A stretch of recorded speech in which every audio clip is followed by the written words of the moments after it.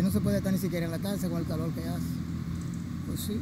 El calor seguiría sofocando a la población según pronósticos meteorológicos. La situación ha obligado a ciudadanos a buscar alternativas para combatir las altas temperaturas. Claro que sí, principalmente la gente que sufre de alta presión y cosas así. Claro que sí, hay un calor que es insoportable, la verdad.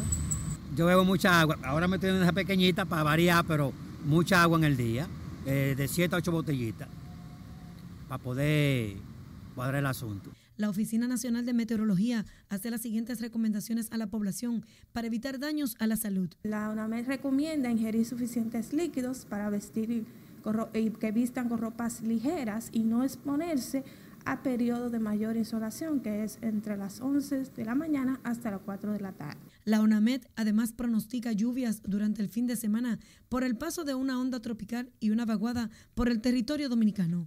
En ese sentido, mantiene al menos 10 provincias en alerta, pero las altas temperaturas seguirán incidiendo en el país.